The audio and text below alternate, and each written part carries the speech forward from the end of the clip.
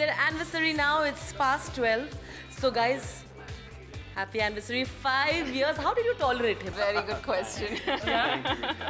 So what do you think? He's he's planned something? Do you see it in his face or? Have we planned anything? No. We actually did a lovely pre-anniversary dinner, and tomorrow's gonna be with the bachas. So. So sweet. Uh, we were discussing. I know she doesn't like to talk too much on the camera, so I'm going to let her go now. She's just done this only for me.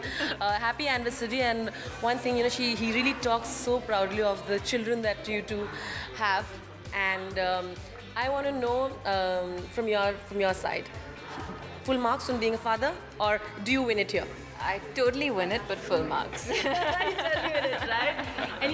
right? Any what? No competition at all, man. do say something romantic to her with his anniversary. Not on camera. She'll kill me later. No, come on, say something sweet. Then- No, no, no, done, done, done. Okay, thank you so much. Happy anniversary to the both of you. Thank you.